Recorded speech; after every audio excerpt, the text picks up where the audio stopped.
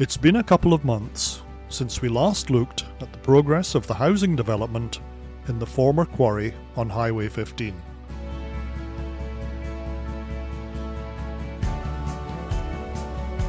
This general view to the northwest shows that terracing is taking place.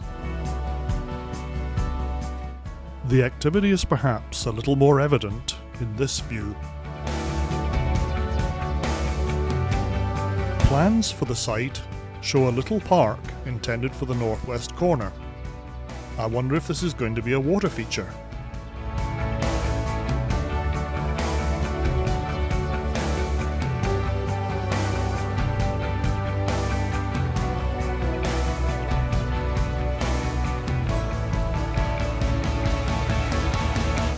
Shaping the rock wall to the north continues, as it has for many months.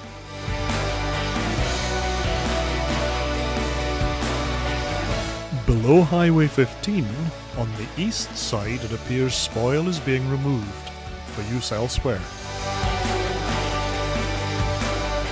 Work in the southwest corner suggests that lots, for the first time, are being established, and there's a beautiful bridge in the background.